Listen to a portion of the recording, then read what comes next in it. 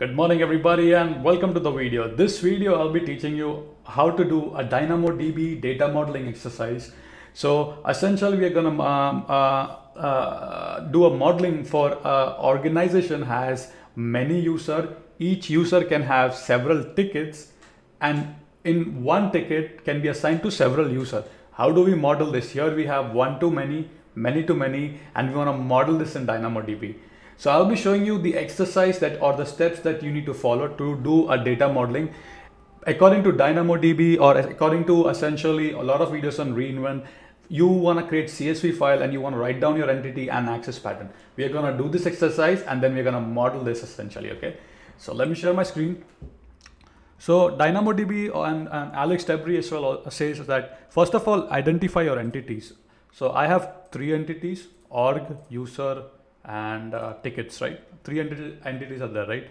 Now, an organization has several user, right? One to many, right? One org has several user. Each user can have many tickets, right? Right? Particular user can have many tickets, right? And essentially each ticket can be assigned to multiple people because there can be multiple people working on the same ticket, right? So that's the relation we want to model here, okay? So we understand that now what Dynamo says, you know guys, he says that uh, first of all, like put, uh, according to the reInvent videos, they say that like put everything in your uh, CSV file, all your entities. So I'm identifying my entities, orgs, user, tickets. Then create a tab called access pattern. Write down all the possible access pattern you can think of.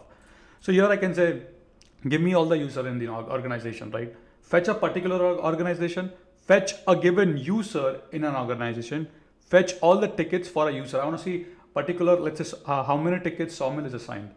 Then I want to do the reverse, right?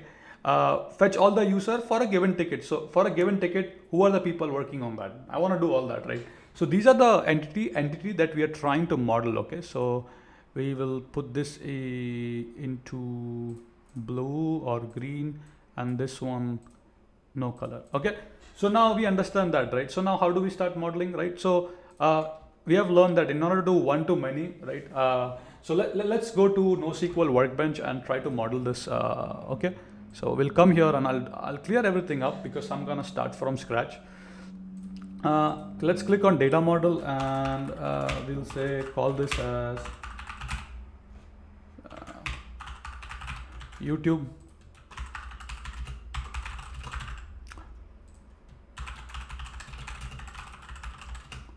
okay we have a typo there we'll fix that ah that's fine not a problem at all. Overwrite that. All right. So here you see the screen right? So now we need to create a table. So we'll call this users right? Uh, or orgs user. Whatever you want to give right? It doesn't matter. So now we'll have a primary key right? We'll have a secondary key. Right? We have my PK, we have my SK. Then we need a GSI and I'll cover GSI in a second what I'm trying to say there. And then whatever attributes the user has and we'll click on create table. Uh, so let's visualize, right? This is how my table looks like. Let's add some data. So my first data would be org Amazon, right? And this uh, has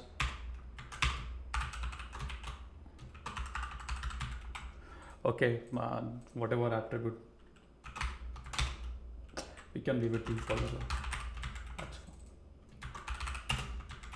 So see how I'm, I'm trying to model it. This is very important exercise okay? So now we'll have one more user.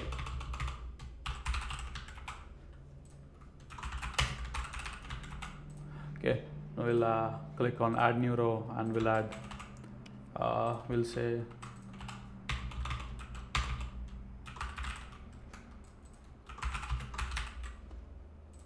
So I have all this stuff, right? So now if I click on aggregate view, so now what is the, my access pattern here? Now let me copy that in paint and explain you. So this is my uh, access pattern.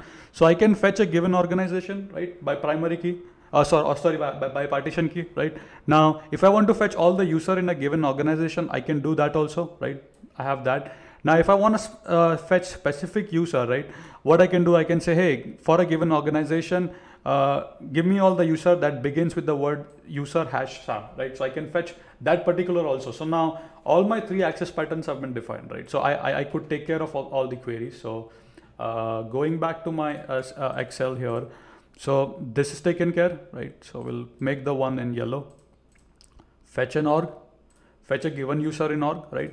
Now we need to take care of the tickets, right? So now uh, let's let's try to do that, right? So now let's go back to the table, right? So we have this data now uh, we are trying to uh, do many to many, which means a user can have many tickets, tickets and uh, a ticket can have many user, right? A single ticket can be assigned to multiple people, right? So the reason, I'm, the way I'm gonna do that is I'm gonna click on edit data and I'm gonna start writing a ticket here. So say this is a Jira, blah, blah, blah. So one, two, three, four, five, right? Now the, the, the way I'm gonna do this here, tickets three, four, five, and then I'll say user uh, we can say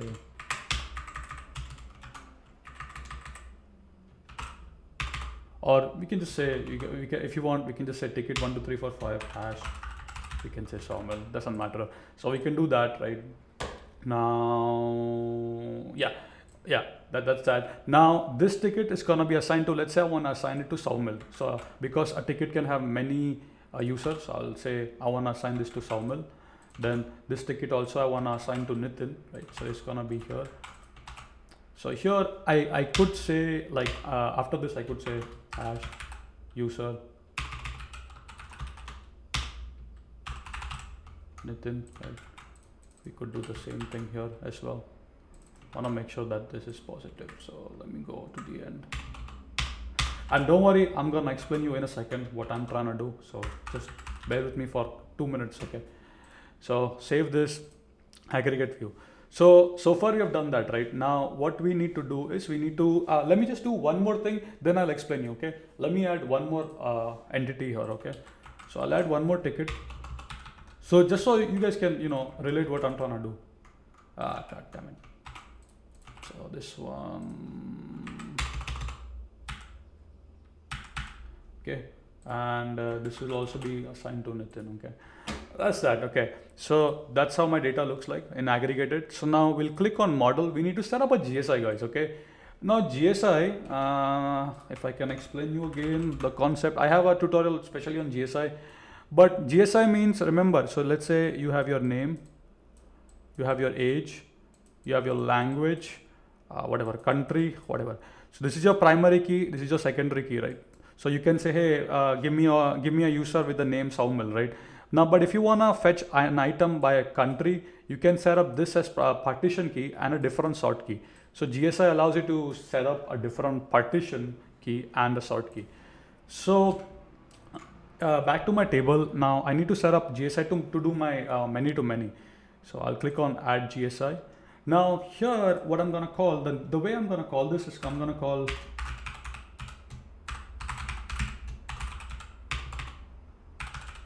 views okay? I'm gonna call it views. Now uh, remember my GSI right? That's gonna be my partition key here.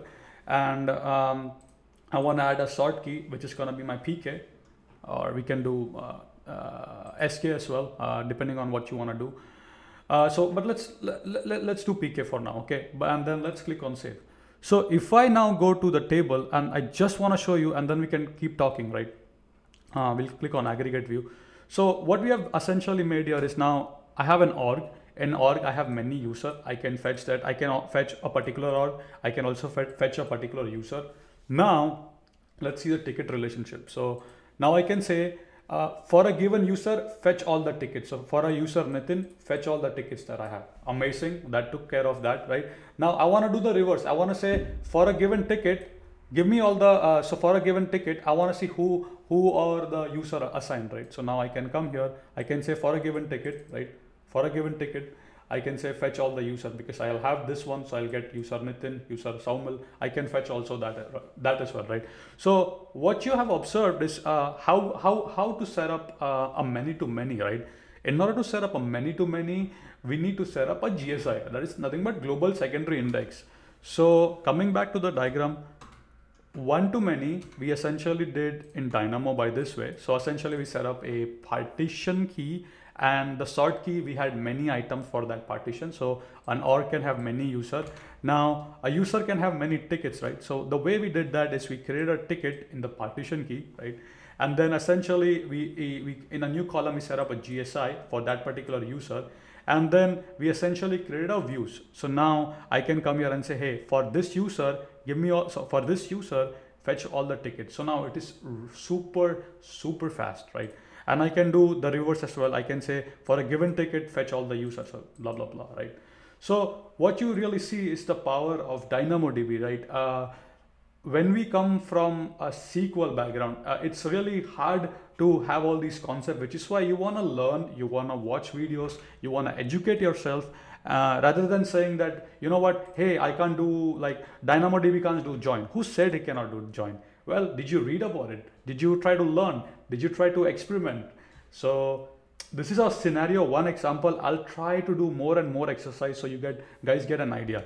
So remember, the couple of steps are first create an entity, right? Then essentially write down your access pattern in a CSV file then download uh, NoSQL Workbench and then start creating your stuff here. And then once you do that, then, then have discussion with your co-workers and colleagues. Hey, what about this pattern? Oh, you missed this pattern. We had to query this data this way. Start talking and this will essentially help you to essentially have complex um, uh, entities in Dynamo and at a, at a whopping fast speed, right? Dynamo is super, super fast. If you design it right, correctly, perfectly, it's gonna be flawless. All right, thank you so much for watching. I'll, I hope you have enjoyed uh, this video. With that being said, uh, keep smiling, keep programming, and we'll see you guys in the upcoming next video.